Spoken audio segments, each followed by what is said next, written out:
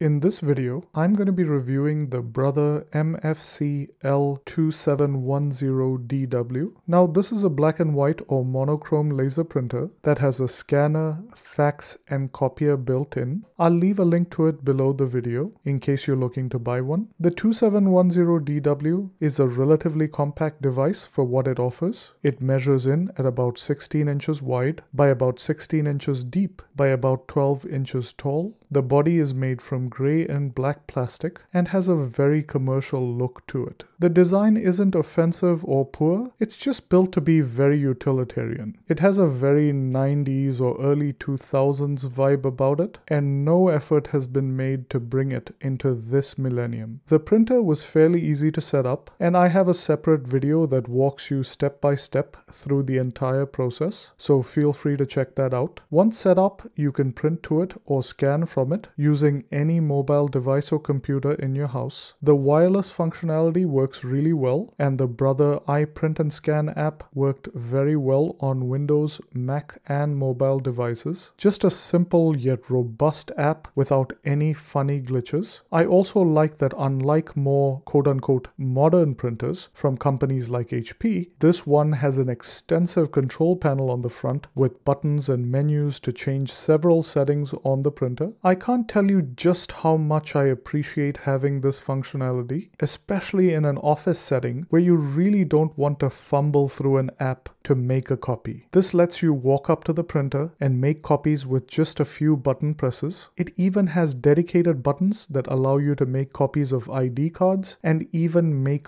automatic copies of two-sided documents. When it comes to scanning documents or making copies, you have two options. You can use the 50 sheet automatic document feeder that allows you to scan, copy, or fax multiple pages at a time, or alternatively, you can use the glass scan bed, which works better for more detailed scans. And while it does only print in black and white, it can scan color documents and images. The scan quality is also pretty good, and scanned files can be stored as images or as PDFs. And as with most scanners these days, you can scan multiple pages into a single PDF, which is a super useful feature. The print quality is crisp and good enough for almost any office environment. I also like that it uses Brother's popular TN730 cartridge, which can print up to 1200 pages before running out, and it's very reasonably priced. You can increase your print yield per cartridge by using the TN760 toner cartridge, which more than doubles the number of pages you can print on a single cartridge. I'll leave links to both cartridges below in case you're looking to buy some. And the print speed is pretty good. It'll keep up with any laser printer in the office, and it's definitely faster than any inkjet printer on the market. And in case you're wondering, it does make double sided or duplex prints, the closed paper tray holds up to 250 sheets of paper as large as letter or A4. For sheets as large as 8.5 inches by 14 inches, you can use the manual paper tray right above it. The manual paper tray will also handle envelopes and other odd paper sizes. Another thing I like about the print system in general is the sheer number of jam clearing compartments. It has several convenient compartments that you can quickly open to clear jams. Again, a great feature for a small office environment. And though this is designed to be a wireless printer, Brother thankfully equips it with an Ethernet port to hook it up to small wired office networks. They also provide a USB port on the back that allows you to connect it directly to a single computer, both of which are very useful features for a small business or a home office. I'll leave links below the video to the Ethernet and USB cables you will need if you choose to go with the wired option. It does also have a fax built in, though I'm not exactly sure who uses a physical fax machine in the year 2022. However, if you are one of those 3 to 5 people on earth who need it, it does have a fax. So should you buy the Brother MFC L2710DW? Well, that all depends. If you're looking for a reliable, simple, black and white all-in-one laser printer for your home, home office, or small business, this is the one to get. While the printer's design is a bit dated, it makes up for it with an extremely easy to use and robust interface, excellent print quality, and an app that has no serious glitches on any platform. However, if you need need a color all-in-one, I recommend upgrading to the Brother MFC L3750 CDW. I'll leave links to both printers below in case you're looking to buy one. Hope this review has been helpful. If it has, please hit that like button. And if you have any questions or would like to share your experience with this printer, leave me a comment below. Please also consider subscribing so you're notified each time I upload a new video. And if you're already subscribed, please hit that bell icon so you receive notifications as soon as a video is uploaded. Thanks for watching and see you next time.